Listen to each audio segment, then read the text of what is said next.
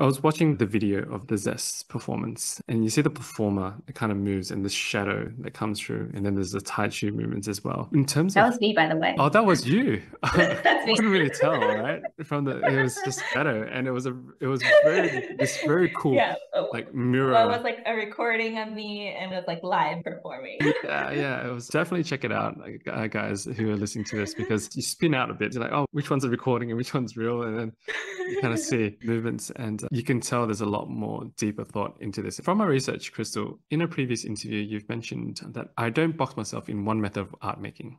I think art should be a means of discovery. I'm fascinated by creating work that is beautiful yet uncomfortable. And my question to you when I was reading that, Crystal, is I would like to understand more about what you mean by creating work that is uncomfortable.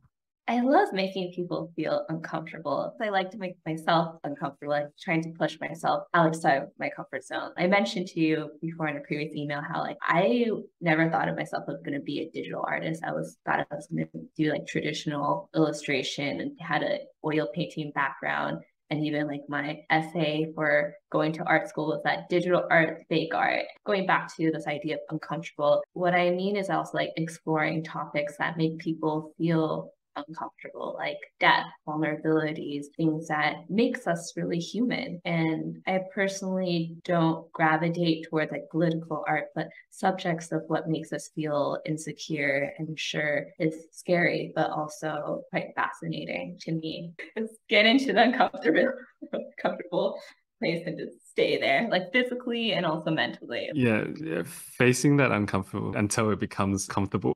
Yeah, and maybe I'll enjoy it, or I can say I gave it a go.